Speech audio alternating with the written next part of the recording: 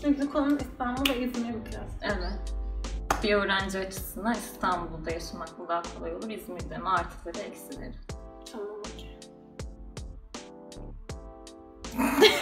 ben mi girişim? Evet. Merhabalar.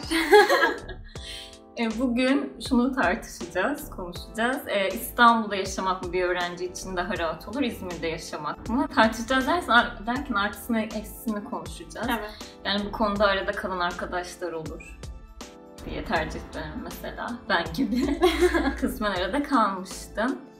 Ee, bir- nereden başlayalım? mesela konaklama, Tamam olur. Kira ücretleri ya da yurt gibi. Tahminimce ortalama benzer yani İzmir'de İstanbul.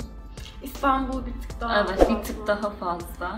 Yurt ücretleri de ev ücretleri de bir tık daha fazla ama İzmir'de Bornova, Buca öğrenci yeri olarak bilindiği için kitlemeye çalışıyorlar sağ olsunlar. Bu yüzden benzer ama İstanbul bir tık daha fazla. Kesinlikle öyle. Yani e, İstanbul'da öğrenci yeri diye nitelendireceğiniz pek bir yer yok. Çünkü öğrenciler her yerde İstanbul'da gerçekten de. E, Beşiktaş'ta genelde çok genç nüfus var fazla ama yani kiralar inanılmaz derecede fazla Beşiktaş'ın. E, Şişli civarı nadiren daha ucuz yerler bulabiliyorsunuz. İşte bu Mecidiyeköy taraflarında ki şahsen Mecidiyeköy'de yaşamam. Çünkü yani çok kaosun olduğu yer, özellikle bir kız öğrenciysen e, çok güvenilir yerler değil. Yani çok da genellemek de istemiyorum. Tabii ki mahallesine göre değişir. Ama gece yarısı ne bileyim sabah karşı 3'te de 4'te de gelsem ben güvenilir bir yer isterim ve ona göre bir ev seçmek isterim. Fulya tarafı onun için iyi. Fulya'da yaşamıştım bir dönem. Mahalle konusunda da bir sıkıntı çekmedim ve oralarda öğrenci evi diyebilirim.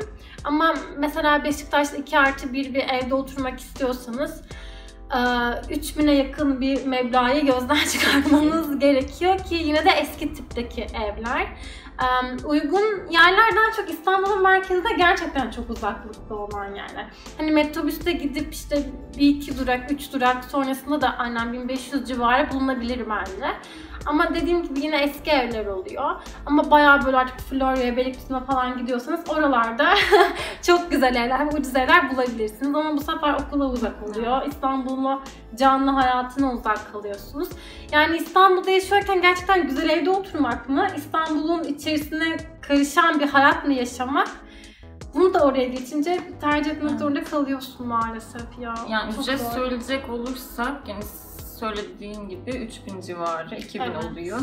İzmir'de Bornova'da yaşayacaksanız eee, yani kız, özellikle de kız öğrenci Mevlana'da zorlanabilir. Orada ama 1000 lira aşağısı ve 1000 lira civarında bulabilirsiniz. Erzene, Ergene, Kazım Direk daha e, merkeze yakın, okula yakın ve güvenilir yerler oluyor. Orada da ortalama bir 1400 aşağısı yukarısı oynuyor. Bu şekilde. Ee, sırada ne var? Ulaşım galiba. Evet. Bunu tartışmaya gerek yok muhtemelen. Ya İstanbul'da şöyle ulaşım evet gerçekten zor ama İstanbul'da o metrobüs ve metro denilen şeyler o kadar büyük bir veli nimet yani bu kelimeyi başka nerede kullanırım bilmiyorum ama gerçekten veli. Çünkü hani her yer her yer artık bağlantılı oldu Marmara, metrobüs, metro hani gerçekten her yer birbirine aslında yakın gibi veyahut da İstanbul'da yaşamaya başladıktan sonra zaman sizin için çok garip bir hal almaya başlıyor. Hani Beylikdüzü'nde yaşayan bir arkadaşımla buluşacağız mesela derim ki bir saat sonra oradayım diyor kapatıyor. Ben de ha iyi tamam diyorum. Hani yakınmış gibi geliyor anladın mı? Bir saat artık garip bir hal almaya başlıyorsun. Ya İzmir'de e, bence ulaşımın en büyük sıkıntısı gece oluyor. Yani baykuşlar var ama sanırım her yerden her yere yok ve saat aralıkları çok geniş ve İstanbul'da böyle bir sıkıntı yok muhtemelen. Yani her saatte ulaşım Ya sağlayabiliyorsunuz. şöyle bir şey otobüsten 12'de bitiyor Hı hı. açıkça söylemek gerekirse. Metroda bu artık yani yeni işte Ekrem İmamoğlu geldi bilmem ne falan. Ondan sonra değişti. Metro artık sabaha kadar açık. Ama ondan önce de değildi. Metrobüs sadece sabaha kadar açık. Bir de taksiler yani. Biraz bizde de sıkıntı. Hani 12'den sonra atıyorum hani 12'de bitmesin otobüs. Evet. Ama 2'de bitsin anladın mı? 12'den Ya bu sonra öğrenci için sıkıntı. sorun oluyor. Yani bizim dışarıda kaldığımız çok oldu sırf bu yüzden. Evet. Ya İzmir'de bu sıkıntı ama hani e, İzmir çok daha küçük bir şehir tabii ki İstanbul'a nazaran ve e, bir yerden bir yere gitmek bir saati bulmayabiliyor genelde. Bornova Buca arasını düşündüm de bazı e, esot vardiyalarında daha kısa sürebiliyor. Ama çok büyük bir sıkıntı değil ulaşım. İstanbul'da şöyle bir sıkıntı hani gerçekten atıyorum Beşiktaş'taysan Kadıköy'de eğleneceksen o gece ve hani evin gerçekten de ne bileyim uzaktaysa sana 40 dakikalığına bile o gece zaten eve gitmiyorsun. Arkadaşında kalıyorsun. Ertesi gün evine devam ediyorsun.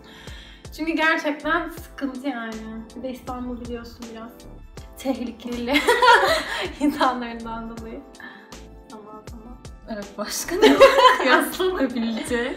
Başka kıyaslanacak bir şey. Ee, AVM, İzmir'de Evet. AVM çok az diyorlar doğru? Evet, Bize de İzmir- çok fazla da. İzmir çok şey hani böyle büyük şehir demeyi bin şahit ister gibime geliyor. Ama İstanbul'un Doğallığını adımını- bozmamış gibi geliyor. Keşke İstanbul'un doğallığını bozmasan. Her adım başı AVM var ya. Tamam AVM'leri seviyorum. Bir düşmanlığım yok ama bu kadar fazla olması. Evet, Yani İzmir'de daha az gerçekten. Bak mesela şey e, kıyafet açısından ya da kıyafet olur, ayakkabı olur. İstanbul'da bunun seçeneği çok fazla. Aşırı. Hem ucuza pasajlarda Hı hı. olsun. İzmir'de Bostanlı pazarını bilir zaten birçok öğrenci. Yani bir o var ve İstanbul'dakinin yerini tutamaz. Evet. O açıdan- Çilek Sokak var, Beşiktaş Pasajı Evet. var. Bomonti'de bir pazarı falan var. O açıdan büyük avantaj. Aradığınızı istediğiniz, hani teknolojik ürün falan da olur muhtemelen. Sadece kıyafet üzerinde değil. Aradığınızı İstanbul'da çok daha çabuk Evet. bulabilirsiniz. Ve iş imkanı aç- açısından da aslında daha çok hani hayatın yani aktığı bir şehir çünkü. Ve hatta konser etkinlik açısından da çok geniş. Ve hiçbir zaman dediğim gibi yani gece yarısı bile ölmeyen bir şehir. Evet. Sabahlara kadar konserler, cartlar, curtlar bayağı. Mesela kafeler, İstanbul'da çok daha seçenek var. Kesinlikle öyle. Hani İzmir'de de var tam hani konseptleri birbirinden farklı barlar olsun, kafeler olsun ama hani Alsancak'a gidersin, Bostanlı'ya gi- gidersin, Bornova hepsi bana bir aynı, klasik hani. Ama İstanbul'da konseptler çok çok daha farklı. Evet öyle. Yani canın sıkılırsa ne bileyim oda sahiline git. Ya ne bileyim bir lüks bir kafede otur ama sadece bir kahve iç ya da bir çay iç. Oradan kalk Beşiktaş sahiline. Al yemeğini, böreğini, her şeyini. Orada ye iç. Yani evet farklı. Mesela Bornova'da ya da Buca'da şöyle oluyor. Herkes öğrenci. Okuldan çıkıyorsun, kafeye gidiyorsun ama hala okulda gibisin. Her, etrafında hep öğrenciler var ve şöyle biraz katkısı olduğunu düşünüyorum. Topluluklarla çok da aktiviten olabiliyor. Çünkü hep okulun çevresindesin. Bölümünle alakalı şeyler yapıyorsun etrafında hep öğrenci var.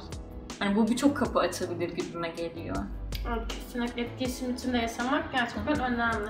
E bu Beşiktaş'ta evet hep öğrenci yeri aslında baktığınız zaman veyahut da Kadıköy de aynı şekilde öğrenci yeri. Ama sizinki böyle daha böyle samimi gibi Evet. sanki. Bilmiyorum. Biraz bana da öyle geliyor. Bir de İzmir'de mesela az çok insanları tanıyabiliyorsun ya anlayabiliyorsun. Hani tabii ki tanıyamazsın ama böyle hani bellidir yani. ya şey belli, e, İzmir insanı belli, gerçekten belli. İstanbul insanı belli değil çünkü yani tamam ben de başka yerden geldim ama en azından hani dışarıda oturmamı, kalkmamı, toplumsal kuralları bilen evet, bir insanım. bazıları eğitim yani sanki temel eğitimlerini alamamış Evet ve gibi. İstanbul'da hepsi buluşmuş gibi bir de yani bir de üstüne üstü çok, karma. zorlanıyorum. Evet ama yani şey Bornova da biraz karma. Sadece İzmir insanı gerçekten anlıyorsun. Kibarlar. Karşıyaka'da anlıyorsun özellikle bunu. Çünkü oranın yerleri hep Karşıyaka'da. Biz Karşıyaka'ya gittiğimizde İzmir'de yaşıyormuşuz be falan diyoruz ama İstanbul o açıdan daha karma evet. Kesinlikle. Bornova'da hani öğrenciler geliyor tabii ki dışarıdan. Ben de dışarıdan gittim İzmir'e. Ama böyle e, İzmir insanına dönüşüyorsun. zor. İnsanlarla izole yaşamak. Çünkü mesela bazen hani o kargaşadan kurtulup mesela sen yanına kaçıyorum. İyi geliyorsun bana. sen mi İzmir? O konuda rahat bir de sizin sizin, sizin bileyim Foça'ya yakın, Alaçatı'ya yakın, Evet. Çeşme'ye, her yere yakın Bu avantajlı yani. Mesela final haftan biter Foça'ya gidersin, Çeşme'ye gidersin. Ve bunun için çok fazla paraya da ihtiyacın yok. Yemeğini alırsın yanına, günübirlik gidersin, Evet. denizine girersin, tatil yerine gitmiş olursun ve geri dönersin. Tatil yerlerine yakın oluşu da güzel bir Bence şey. de. Şey İstanbul'da Kilyos.